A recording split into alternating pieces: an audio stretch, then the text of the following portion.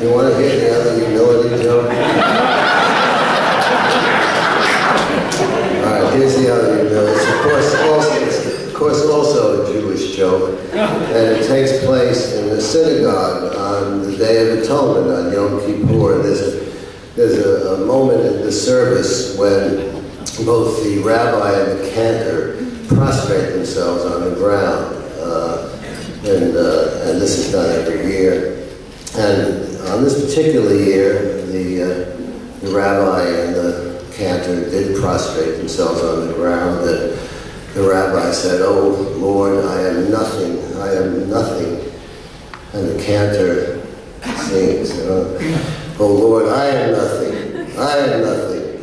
And the lowly sexton, the janitor of the synagogue, leaps up to the to the podium, throws himself on the floor, on the ground, and says, Lord, I too am nothing. And the rabbi looks at the cantor, and the cantor looks at the rabbi and says, huh, look who wants to be nothing.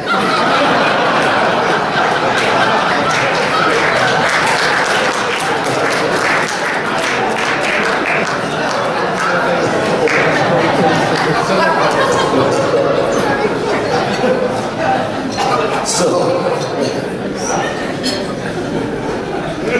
ladies and gentlemen, in accepting the American Liberty Award, I'd like to say a in defense of the embattled ideal in whose name this award has been established by the London Center for Policy Research.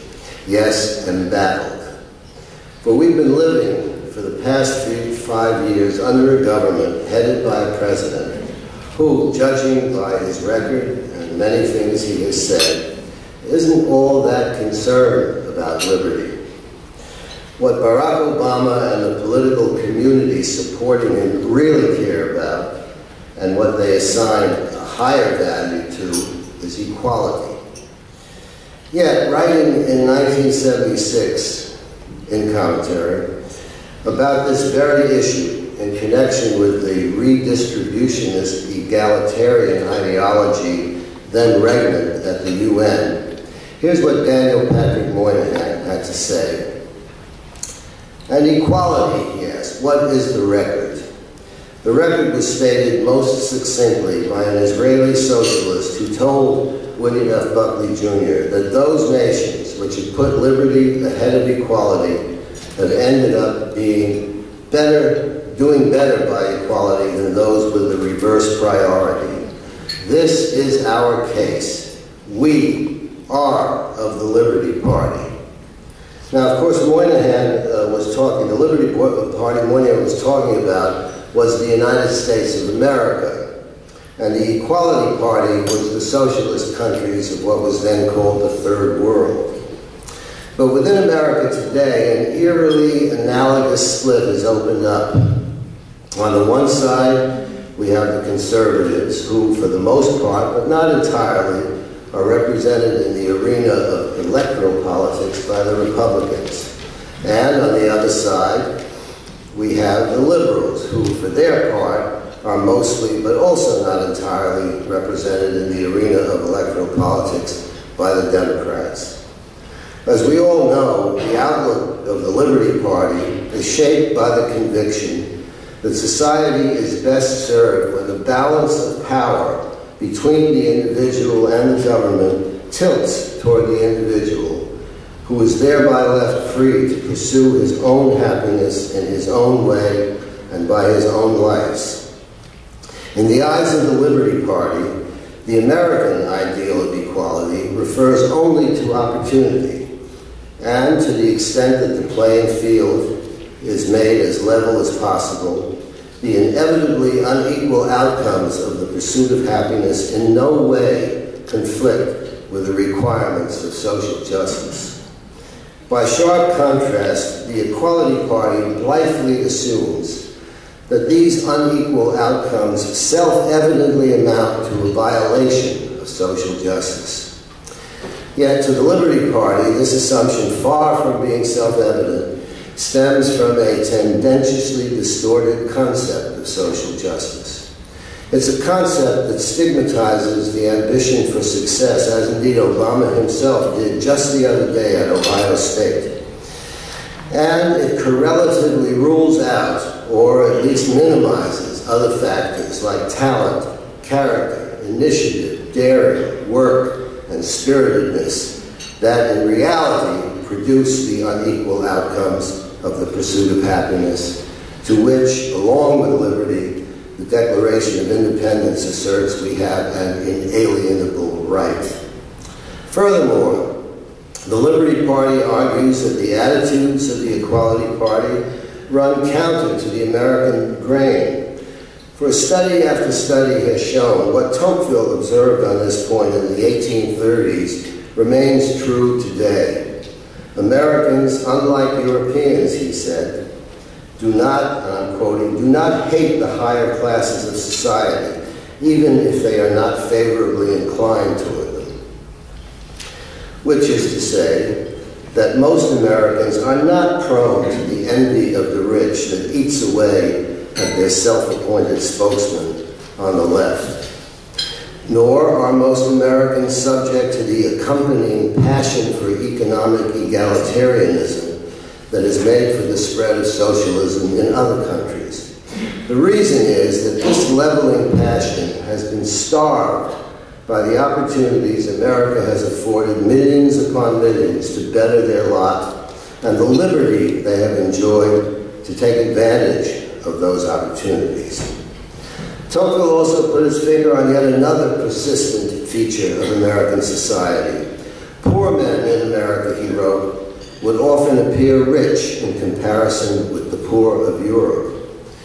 A story I, I, was once told by one of the first Soviet dissidents who had managed to escape to America provides an amusing illustration. It seems that the Soviet authorities used to encourage the repeated screening of The Grapes of Wrath, a movie, as some of you are old enough to remember, about the migration during the Great Depression of the 1930s of starving farmers in the Dust Bowl who were struggling in their broken down pickups to reach California.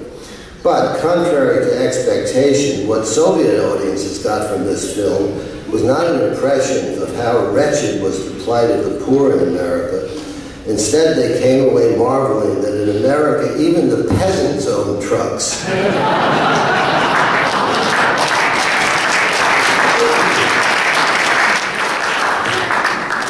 In other words, however great the gap between rich and uh, the rich and, poor in America may be, there's a much greater gap between the poor in America and the poor everywhere else.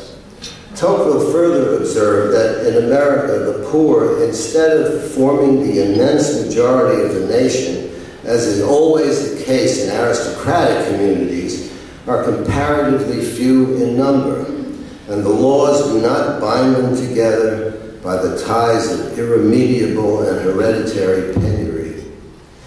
As the great Thomas Sowell has demonstrated time and again, it is still the case that the poor in America are few in number.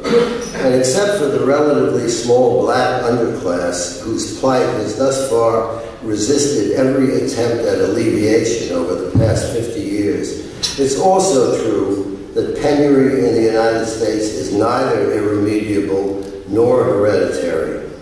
According to Sowell, only 3% of the Americans living in the bottom fifth of the income distribution at any given time get stuck there for more than eight years.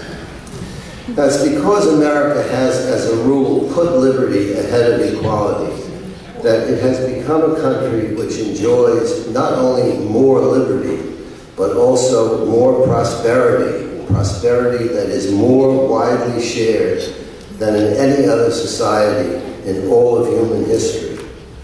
But because we now have a president that puts equality ahead of liberty, we're in grave danger of being transformed into a facsimile of the socialist societies which, by exalting equality over liberty, have ended up not only with less liberty, but also with less equality, both of opportunity and of outcomes.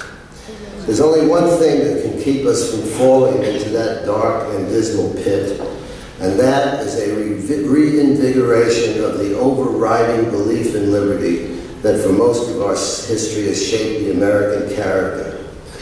The London Center for Policy Research, by celebrating its birth with the establishment of a ward in the name of the now embattled ideal of liberty, is announcing its dedication to just such a reinvigoration and the new energy it will bring to the fight against the corrosive, coercive redistributionism to which the, the, the Equality Party is fanatically committed.